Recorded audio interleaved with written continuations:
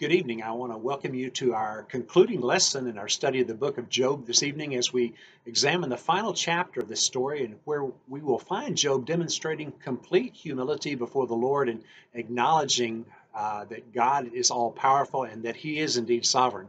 As we mentioned last week, Job never really gets a full explanation from the Lord as to the reasons for his suffering, but we see him in this chapter placing his faith and trust in God's goodness and the Lord ultimately rewarding him by restoring his possessions and even blessing him with the same number of children he had lost when the storm struck the house where they had gathered. Job's initial words to the Lord in verses 1 and 2 point us back to something that we observed last week as well, when God spoke of himself as the Almighty One, the Hebrew word El Shaddai.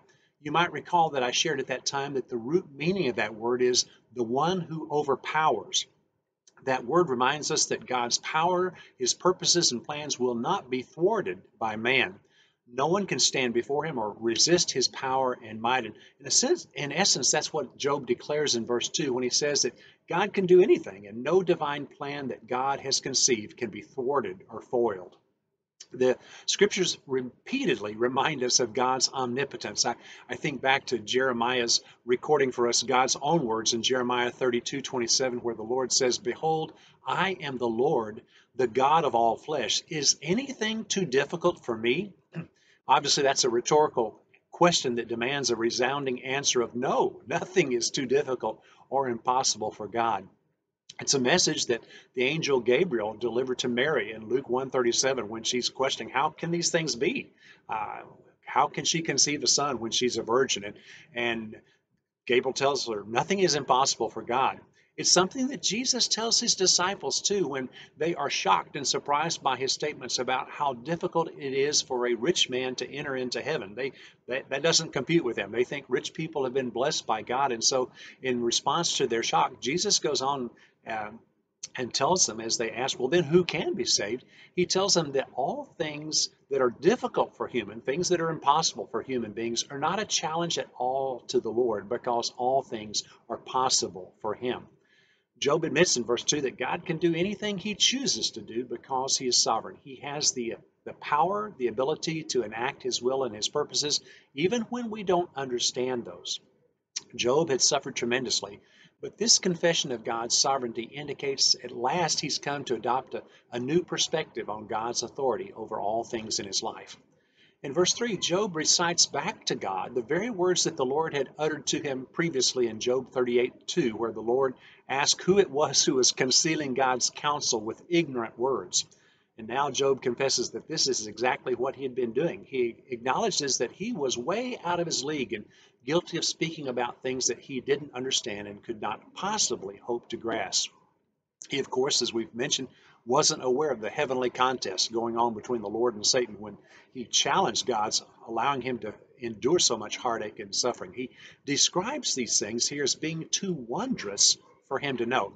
Now, we typically take the word wondrous, or as other Bible translations express that term, too wonderful, as something quite positive. But I think here the context demands a different understanding of that term. And a couple of the modern translations, I believe, capture the sense of the word better with the use of phrases like things too mysterious for me to know or marvels too great for me to understand. Because Job surely isn't viewing his suffering itself as wonderful, but rather as something that he now acknowledges is way above his pay grade and utterly impossible for him to, to completely understand. The passages that we looked at last week with the lengthy series of questions that God directed to Job to uh, reveal to Job his lack of knowledge of God's creation and, and underscore how limited Job's comprehension of God's ways are.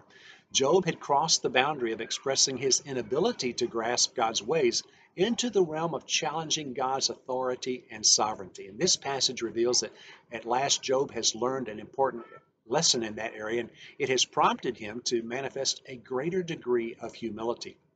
The irony of believing that Job could instruct God about anything has at last registered in his mind. And when we come to verse 5, we find Job admitting that his knowledge of how God operated in the world had been best at best based on secondhand reports. He presumed on the basis of what he had heard from others, like his three friends who kept telling him that God rewards good people and punishes the wicked, that that's how God inevitably operated.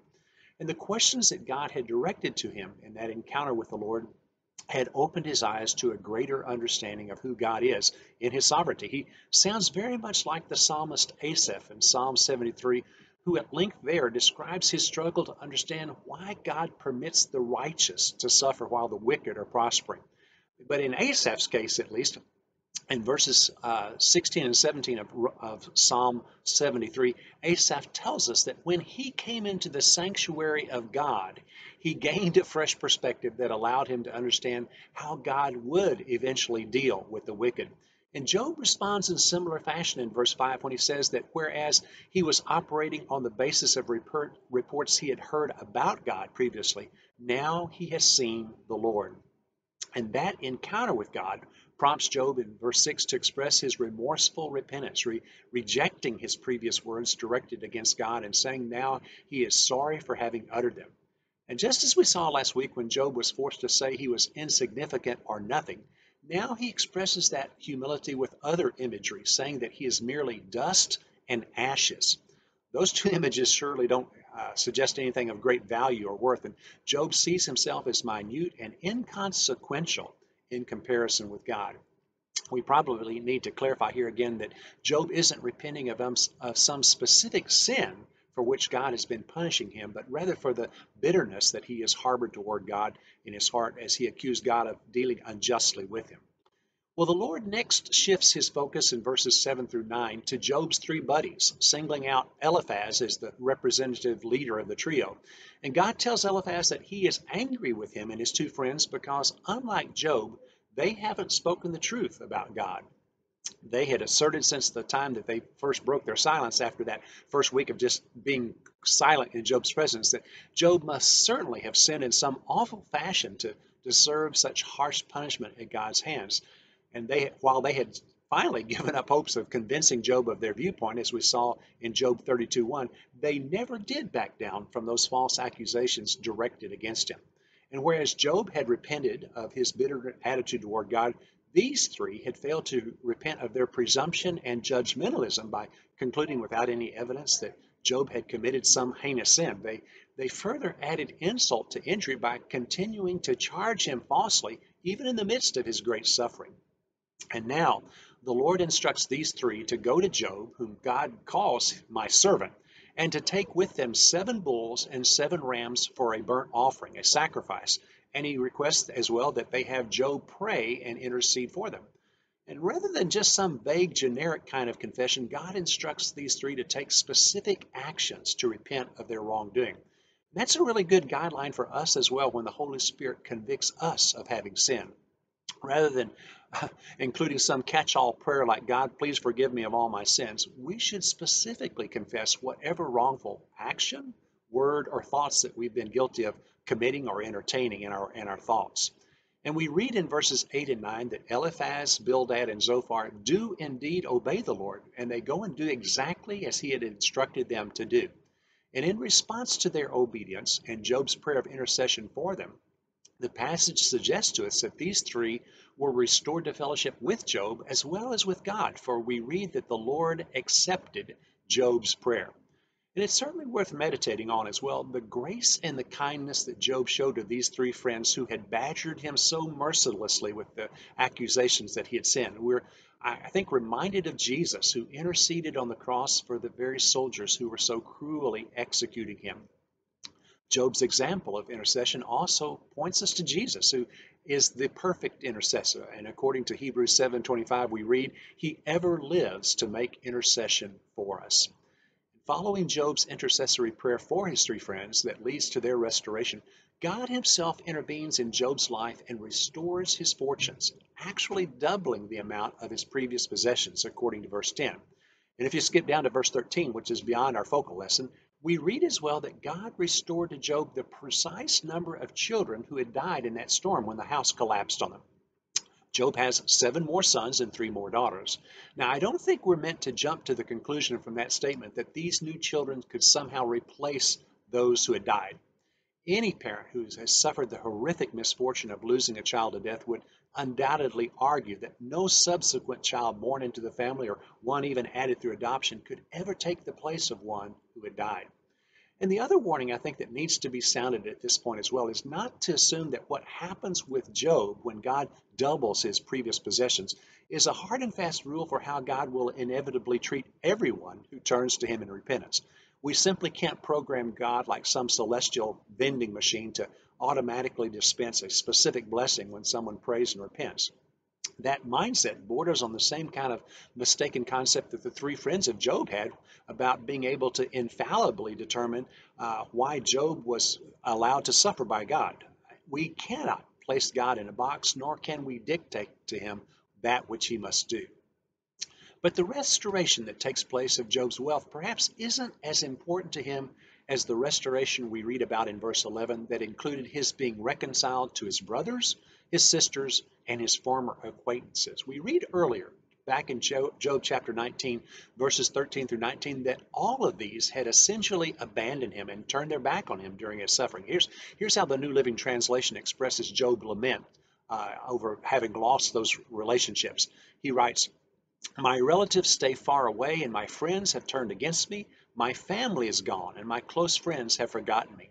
My servants and maids consider me a stranger. I'm like a foreigner to them. When I call my servant, he doesn't come. I have to plead with him. My breath is repulsive to my wife. I am rejected by my own family. Even young children despise me. When I stand to speak, they turn their backs on me. My close friends detest me. Those I loved have turned against me. Job is, has been abandoned by all of those who are near and dear to him. And in the beautiful scene of restoration that is pictured in verse 11, Job's brothers, his sisters, and his former acquaintances come to visit him and they share a meal with him in his home at his table. They console and they comfort him for all the adversity he has endured at God's hands. And whereas their earlier visits had multiplied his suffering and adversity with their accusations, now they multiply his wealth as each of them brings a piece of silver and a gold ring or an earring as a gift. We must remember, of course, that God what God does for Job isn't a guarantee that all those who turn in faith to him will be similarly blessed. Job had suffered tremendously, and now God graciously restores his wealth and his family to him. But not all will receive those kinds of blessings in this life. But at the same time, we have the amazing promise of God's word that all who suffer as Christians in this life can expect God's abundant blessings in the life to come with Him in heaven. One of my very favorite verses in the amazing eighth chapter of Romans 8 is verse 18, where Paul writes these words For I consider that the sufferings of this present time are not worthy to be compared with the glory that is to be revealed to us. And if anyone ever knew what it meant to suffer as a follower of Christ, it was Paul.